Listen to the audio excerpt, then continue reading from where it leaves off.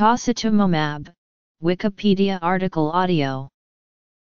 Tositumomab is a murine IgG2A lambda monoclonal antibody directed against the CD20 antigen, produced in mammalian cells.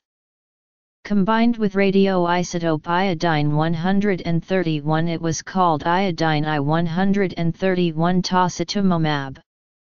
Unlabeled tositumomab together with iodine-labeled tositumomab was called Bexxar and a personalized regimen using Bexxar was approved for the treatment of relapsed or chemotherapy-rituximab, refractory non-Hodgkin lymphoma in 2003.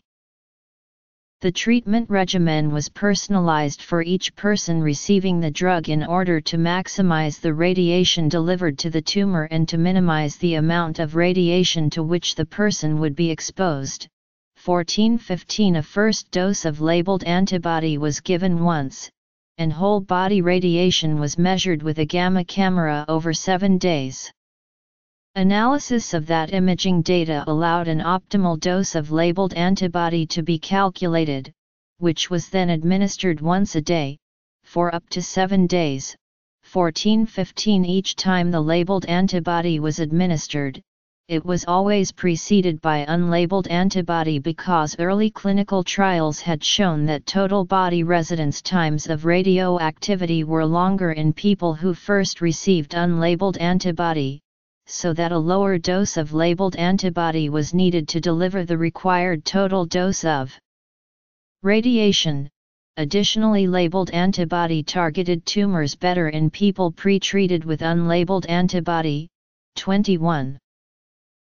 This drug combination was developed by Corixa which was purchased by GlaxoSmithKline in 2005. It was sold for about $25,000 for one round of treatment. Sale of Bexxar was discontinued and marketing approval was withdrawn in February 2014 due to the decline in usage even though it had a 70% response rate.